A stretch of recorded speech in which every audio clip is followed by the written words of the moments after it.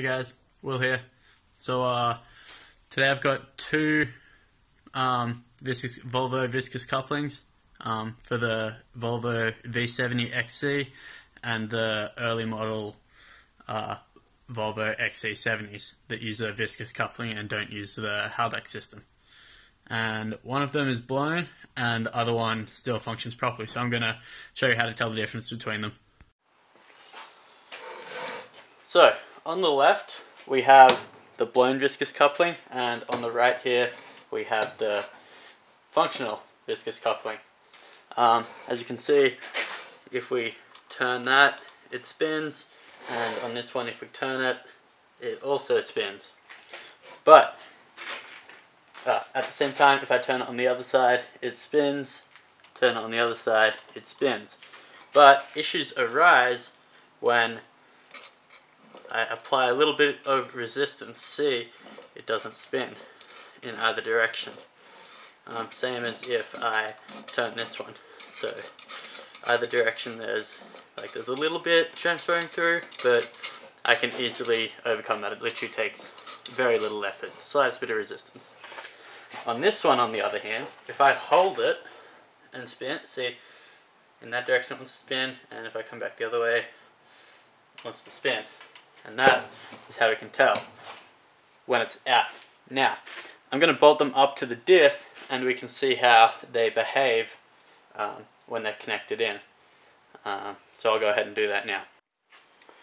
So I've got the diff on and I got the drive shafts just sitting in there because um, I don't really want to put them in and I have to take them out. It's not too hard but it is a bit of a hassle.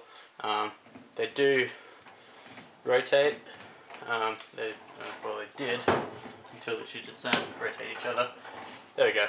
So, as long as I don't pull them out too far, they rotate. Keep that pushed in.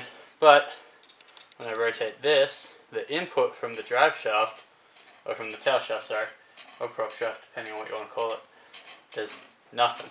There's no movement of either, in either direction of them. But if I turn one of these, drive shafts, then there's movement of the other one. So there is a, definitely a diff in there.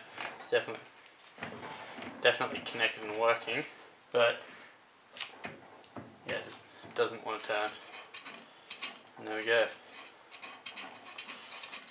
Yeah, so that symptoms of a busted Volvo V70 cross country or early model XC70 viscous coupling that has blown. So that's that.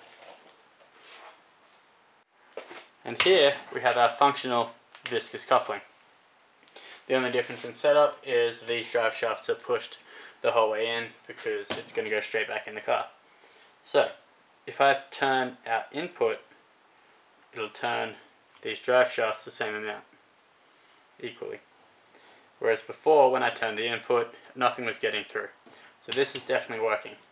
Also, if I turn this, we get a little bit back through here. Um, that's also really good.